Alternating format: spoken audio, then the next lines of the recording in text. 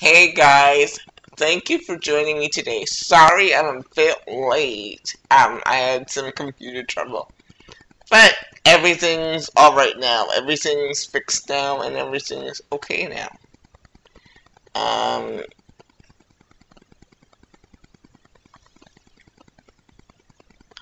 today's sermon is called Praise Like Perfume.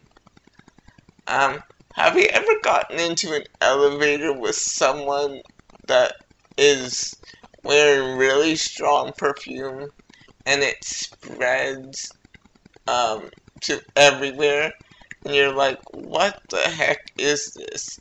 And sometimes it's like very not good smelling perfume. I'm not a huge perfume wearer, but I I did, um, I, I do love this one perfume. It comes in a pink bottle. It's by Lancome. And it's, it's from, mm, uh, the lady I first, um, discovered wearing it was one of my former first ladies um, of my church, of the church I used to attend. And I said, that's really nice. And she got it for me. And that one perfume, I wore it everywhere. I wore it every night to Bible, every week to Bible study. It was just so wonderful. And I was like, this is so good. So when somebody's wearing perfume, you can really just you first of all you can smell it and depending on the perfume you either have a bad reaction to it or a or a pleasant reaction to it and I find sometimes with because I like great smelling hand soaps as well. Um, and the ladies that work with me say, wow, you always buy um, nice smelling hand soaps. Uh, and I, because they wash their hands all the time. And I love sweet smelling stuff and I was listening to um, from Selah. I was listening to um, for for your love on for your love on me, and um, in that song, it says, "If praise is like perfume, I'll lavish mine on you." And the the phrase "praise like perfume" uh, stuck with me. It was just it was something that really stuck with me. And he said he said, "Let praise." The Lord said for me to tell you is, let praise be like perfume. Let your praise like spread to everywhere. And by this he doesn't mean start start singing and speaking in tongues everywhere. But let the spirit of praise go with you everywhere. When you are about to complain, praise.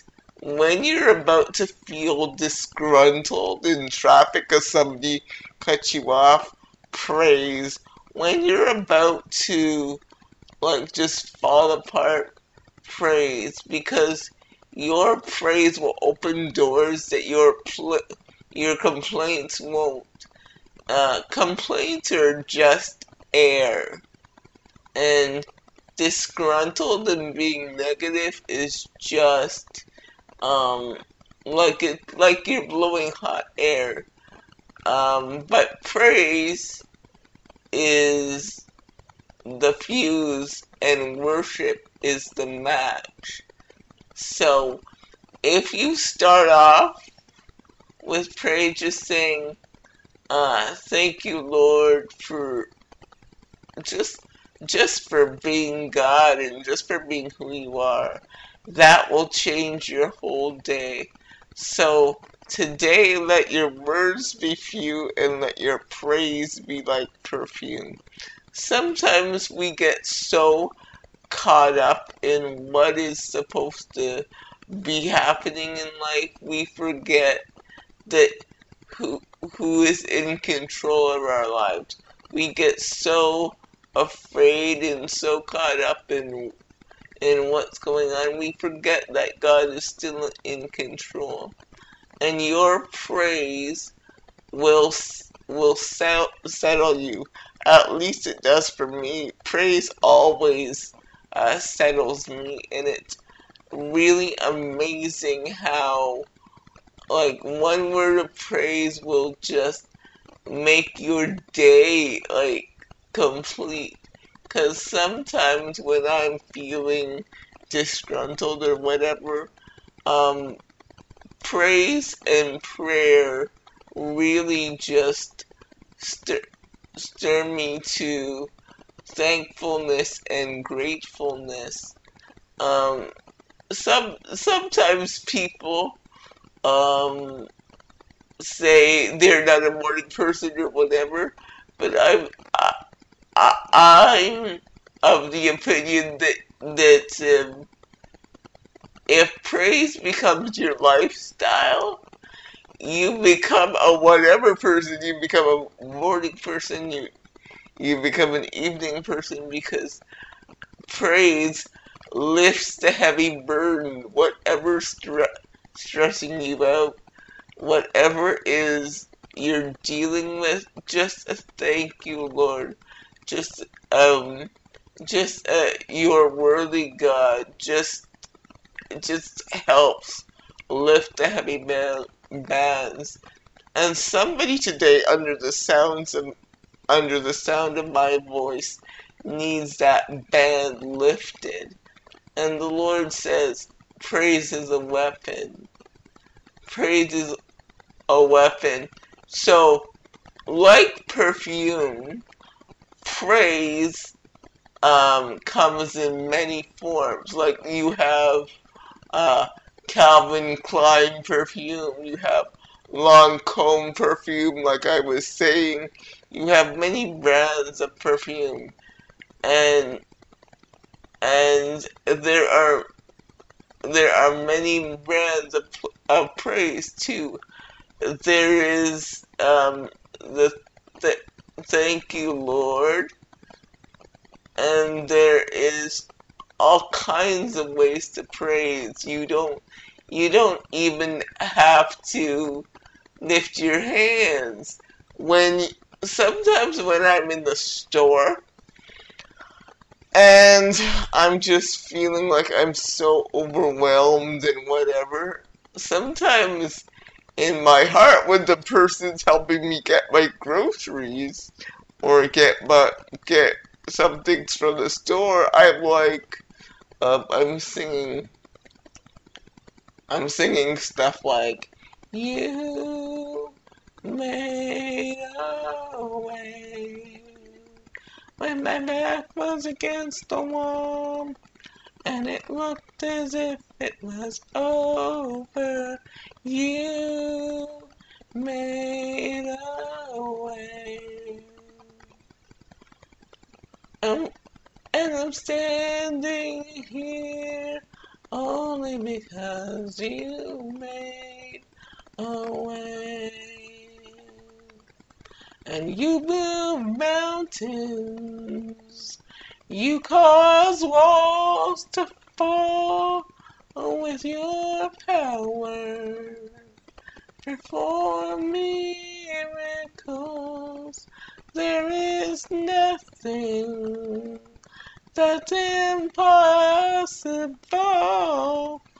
And we're standing here only because you made a way. And, like, and the atmosphere begins to change. Um, I remember one time I was having real financial difficulty, and that's what I did. I was in the grocery store feeling, Lord, how am I going to get through this month? I don't know. And then this song came to my heart, and I just started to sing it. And you know, the situation didn't change, but my perspective changed. And the thing about perfume is you put a little dab on and it spreads to your whole body. And not only sometimes to your whole body, but it spreads to the people around you. So maybe one of the solutions to your relationship problems is praise to to spray a little praise with with your to start your day and it doesn't have to be anything big. It can be thank you lord. It can be your good god. And it doesn't even have to be out loud. It can be it can be in your quiet moments, in your quiet place. I can seriously feel uh, God calling for praise today, and He's saying praises like perfume. Put a like with perfume, you don't need to put a lot for it to spread. You just uh, my dad, my dad, what he used to do is spread a little bit on uh, my neck and a little bit here, a little bit there, and it would just and it would just go forward. And I would be smelling good all day. And you know, like even just a little, a little praise, it will spread through your entire body it will spread through your entire family. It will spread. And, like, maybe one of the solutions to your family problem problems is to praise together. Not just as a um, uh, ritual you do because you want your kids to, you know, love God or whatever, um, or to do it in their lives, but as a lifestyle to teach them how to uh, defeat the devil. And I, for one, have have been a living witness that praise can can not always change the situation, but it will always change the atmosphere. It will always change an atmosphere. And and praise doesn't have to be loud, like in church, but praise can be quiet. But praise can be in your in the grocery store, like I said, or sometimes even when when uh, um the the ladies where I live are getting me ready for bed. I'm saying, "Thank you, Lord," and "Thank you, Lord," and Thank you for this day, God, and I'm beginning to praise and worship. So, praise has to become a habitual lifestyle. It cannot just be something you do in church. It has to be something you do daily, every day. Um, God is calling for the church to rise in a lifestyle of praise and worship. Praise is like um, the fuse, and worship is the match. Um, praise is like your you're praising God. You're you're extolling Him. You're extolling Him. You're saying, God, you're so good. But worship goes a lot deeper than that. Worship means you are you're ascribing not only the attributes of God, but you're ascribing worth to Him. uh, when we say God, you're worthy, we mean you mean you, you're worthy. Like he's just awesome and worthy, and we're we're ascribing glory to God.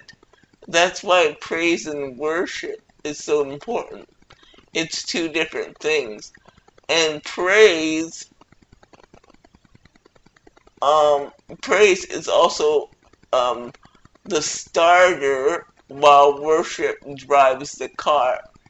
That's why often in mo- in most churches I've been to, praise and worship come before the preaching because when we get get together and praise and worship, it's the vehicle for the word to come forth. That's why often praise and worship comes first because when when the people set set the atmosphere of praise and of worship, it makes when the word comes forth uh, from the Lord through the man or woman of God, it it that atmosphere that was set allows it, I believe, to penetrate. Um, for me, you can for me, I know we call them worship leaders or praise leaders, but um, I know we say a worship team or whatever, but I think um, praise and worship is basically to set an atmosphere for healing so that that sweet smelling savor, as the Bible calls it, can spread to every situation. And I'm and I'm of the belief that people can actually get healed through worship. Uh, people could actually be restored through worship because worship um, taught right sets an atmosphere and goes down deep to where people are hurting, people are mourning. That's why certain songs uh, make people cry, minister minister to people, because uh, uh, it's healing. The ministry of music is healing. Um, worship is not a musical activity. You don't have to be able to sing to worship. That's a misnomer that we've taught the church. Uh, that worship is a song. No. No. A song can be a vehicle for worship. A song in itself is not worship. Songs are only vehicles for worship. Um, like you get in your vehicle and you drive. But worship is actually ascribing worth to God and and praise is actually praising God. So when you praise someone you're like, "Oh my gosh, Rachel, you did that so well. What a wonderful sermon." That's praise.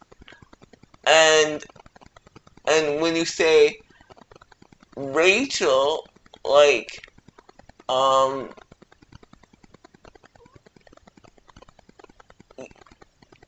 that was worth everything to me.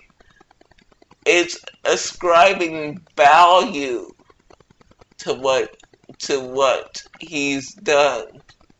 So so praise is telling about how wonderful he is and, and how grateful you are. And worship is ascribing value to what he's done. Um, I think that we've we've done a disservice in the church by telling people worship is a song. No, it isn't. Uh, worship songs are vehicles for worship. A, a song is not worship in itself.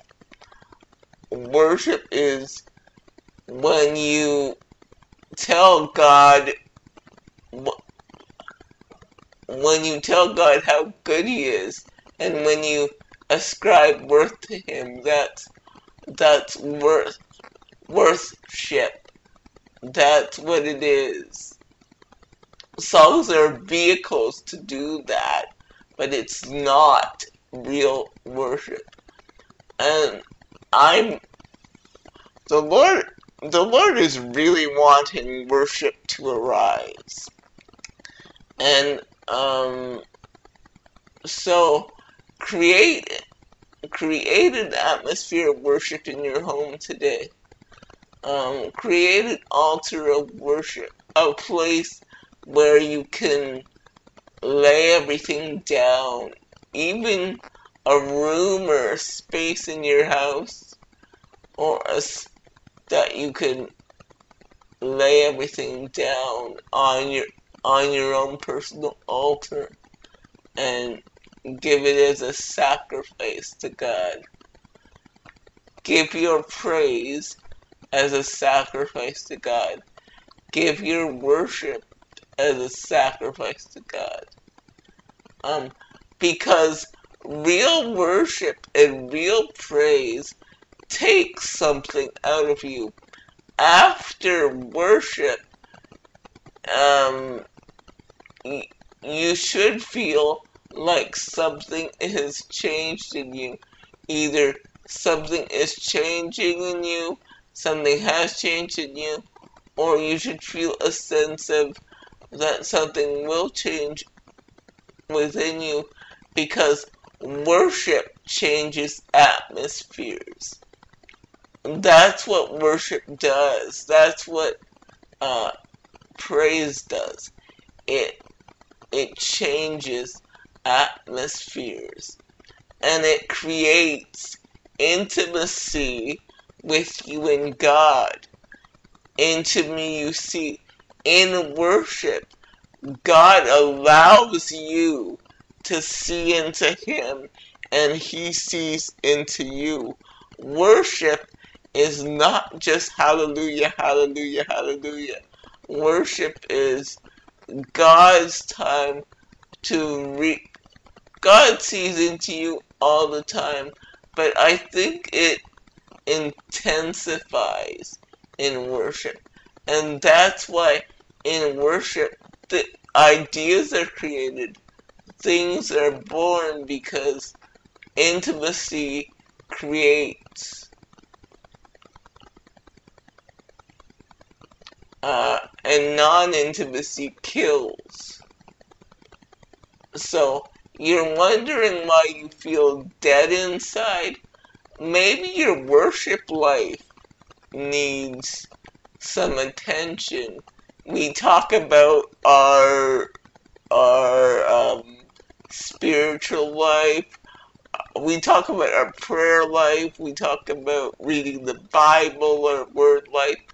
But I hear rarely people talk about their worship life maybe maybe the reason why things are not being created in your life or things are stagnant in your life um, is because worship is lacking. The Lord is calling right now for worship to rise. The Lord is calling for praise to rise.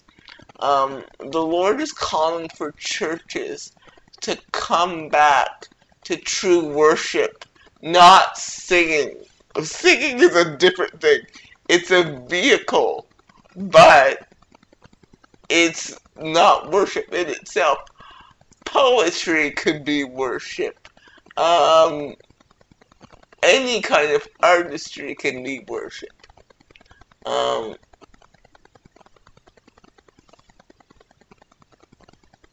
worship is not a song worship is a condition of your heart and it is a lifestyle you you have to create a lifestyle of worship if it's not a lifestyle and something you do um in your daily life Um, it just becomes a, a ritual of something you do on Sundays. And the Lord wants worship to go past Sunday. Uh, Kim Walker Smith says something awesome. He's, she said, you should come to church um, being worshipped all having worshipped all week. So when you come together, if I've been worshiping all week and you have been worshiping all week, when we come together, it's it creates an even greater atmosphere because we both created atmospheres in our home. But if I'm worshiping and you're not, and you have to get pumped up by a worship leader, no wonder why we can't get anywhere. Because if if the tire inflates every week and we have to spend time pumping it up, pumping it up, and when it gets there, we just we just say, "Oh, we have to leave now." It's it's not going to get anywhere. We it's time for the church to experience true worship. I believe the Lord wants to do something unprecedented in this season. And when I say unprecedented, I mean unprecedented. I mean stuff he has, stuff he's never done before in history, stuff he never did before in the Bible. What the Lord wants to do is unprecedented. Like, like he's never done it before anywhere. Like you, you can't find a, a scripture for what God wants to do. He wants to do something new. He says, "Behold, I'm doing a new thing." But he's so busy. Um, we're so busy pumping people up, trying to get them to worship that like by the time the tire is full, we need we we think we need to move on, but the Lord just wants um wants true worship and he wants church church to be about him and we say it is but really it's um I think it can be sometimes about our schedule and what we want to do. I know it's important to plan, but your plans uh, have to have to um, take God into account. He has to be your plan. So if if the worship is going on and the Lord is moving, there is there is nothing that anybody needs to say. If the Lord is moving and worship is going on, and you feel that worship should be going on, let it be. Because people are just, people are being healed, people are being restored, and there is nothing that any pastor needs to say that comes before what God is doing. I think I think the problem is we we like re- regimented. We like to know what's going what's going to be coming next. We like to know two songs and then we you know then we're off to the sermon two slow songs, two fast songs, sermon, and then we go home. But the Lord wants to break that cycle. He wants to bring a new form of worship. I don't know what is what is going on, but I sense the Lord wanting to bring a new form of worship, a new a, a new kind of attitude into the church, but we're so regimented with what we do that we're missing what God wants to do because we're so afraid to let to let him go because we're afraid of what's going to happen. But we have to understand that the like what what he wants to do is past what we what we know and what we think. And you know, uh, we're we're afraid, you know, that people will leave our church or not watch online or oh people will just start dropping off. But I have something to say to every pastor out there. The remnant will stay. I'll say that again. The remnant will stay. And there is a remnant that um that the Lord is using in the church and they may not be people that you know. They may may just be volunteers to your church or greeters, but they're the people that the Lord is using, not not the big pastor so and so or bishop so and so. Um, so don't worry if people leave and you adopt this style of letting God have his way and people are like, oh my God, uh, this is crazy. Um, because keep in mind, brother, sister, God is not the author of confusion. He will he will never sanction confusion. You don't need to worry about that. You don't need to worry about people leaving because the remnant will stay and people that need to hear what's coming from your church pulpit will hear it. I was talking to a friend uh, the other day and I said to her, um, people will the people that need to see you will see you. I I said the people that need to see you will see you. The people that need to share your sermon will share it. The people that need to hear you will hear you.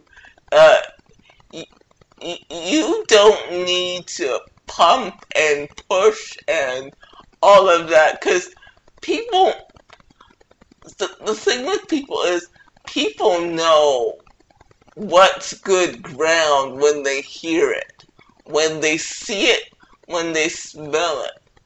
People know what speaks to them and if it speaks to them they will share it with their friends like the perfume i was talking about before um sometimes i say if you want to share this, share it or whatever, but usually I don't. Because I believe people know what speaks to them when they hear it. And I don't need to tell you to share this because if it touches you and you want to share it, you'll share it. Um, and if it speaks to you or you know a friend that could use it, you'll share it. I don't need to say anything. And if the Lord is speaking to you about sharing this or any of my sermons, you know that you could hit that share button. I don't need to say anything. Because I don't I don't need to push and prod people to share my to share whatever because to share my sermons or anything on my channel because they know what's good word when they hear it. And if the turnout's a little low sometimes, okay, that's that's what it is. I I don't need to care about that. My main responsibility is to get out what the Lord has put in me. Whether you share it or whether you don't is is frankly, none of my concern. it's his concern. All my concern is, is that I do it uh, correctly. I hear what he's saying, and I, and I, um, convey it correctly and accurate, accurately and with precision. Sometimes when he tells me to, I will set, I will put a special emphasis on sharing the experience. But for me, I don't, I don't feel I need to because whoever's hearing this will hear it and will take what they need to from it and will share it if they need to or will will tell their friends I don't need to do that. That's not my job. Mm, uh, that's God's job. He does I do the watering and he does the drawing. I don't need to worry about anything like that. All I need to do is to preach the word and that's it. And if I'm if I'm sure in my heart that this is the word that God has given me, whether you agree with me or not, that's that's that's the word that God God has given me. And if God has given you something different, that's the word that God has given you. There are too many people um just um trying to hustle and whatever. You don't need to hustle anything. If your calling is from God, He will do the drawing. He will um, bring the right people to your podcast. He will He will um, cause the right people to hear your sermons or come to your church. You don't need to do the drawing. I'm not saying you don't need to put in the work you do, but when it comes to um, when it comes to uh, sharing uh, or talking to people about your business or what the Lord has put in you, let Him do the drawing. Um, you've been hustling too hard. And the Lord saying, ease up a bit. Let me do the drawing. Let me take over your ministry. Let me take over that business. This doesn't only go for ministry, it goes for business as well. And the Lord saying, You've been hustling too hard. Not that you don't have to put in the work, you you honestly do, and you need to do it with excellence. But you don't need to hustle, hustle, hustle. Those people that need your business will come to it. You've been holding on too tight. Remember, it's not yours, it's his.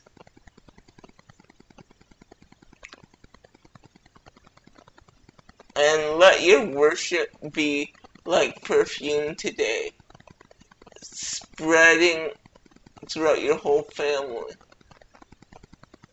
and your whole community.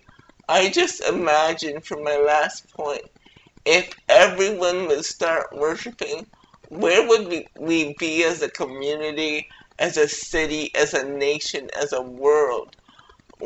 We need today, I seriously believe, worship to rise. Thank you, Lord, for letting, for your word today. Thank you for your admonishment about worship and and to stop hustling and just just to let people uh, let the ministry or let the business be what it is and let you take control. Thank you, Lord, today for giving us permission to let go. Stand up in our lives and stand up in our ministry, stand up in our business, and show off and, sh and show forth your glory, God. We worship you, we love you. In the name of Jesus. Amen. Okay, guys, I'll see you later. Bye. bow down and worship